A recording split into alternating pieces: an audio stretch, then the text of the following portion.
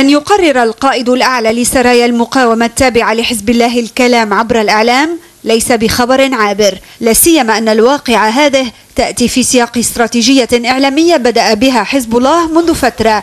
إن في زيارة معلنة للسيد نصر الله لعناصر الحزب على الحدود مع سوريا أو في الاستعراض العسكري في عاشوراء أو في الإفصاح عن تجنيد مستمر في سرايا المقاومة. الدعاية على طول شيء أساسي عند حزب الله بصلب تكوين حزب الله بالأساس دعاية شيء مهم جدا. الآن أكثر فأكثر بات في حاجة إلى ليش؟ هذا لأنه بموقع ضعف أم لماذا؟ في عنده نقاط ضعف إيه مزبوط. وفي عنده نقاط آه آه إظهار القوة فيها يظهر فائض القوة. مهمة هذه بالنسبة له.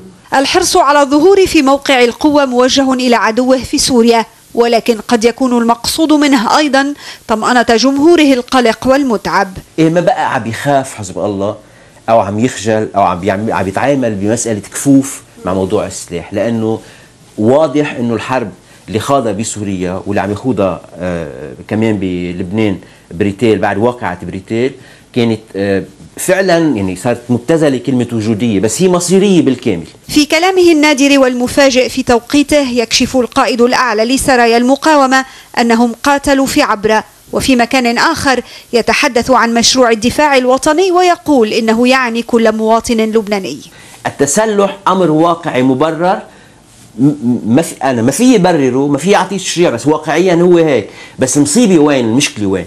بس يصير سلاح عم عم بيتكوكب على فئة سياسية عم تستغله. هذا الخطر في الأمر. لو ما الجيش اللبناني يتفوق بالمواجهة بالشمال واقعية انسحاب سلاح حزب الله على كثير من المناطق اللبنانية كان ليكون أفدح وأوسع و والأخطر من الكل يمكن حيطبع كثير. بحسب قائد سرايا المقاومة نفذت السرايا 400 عملية عسكرية.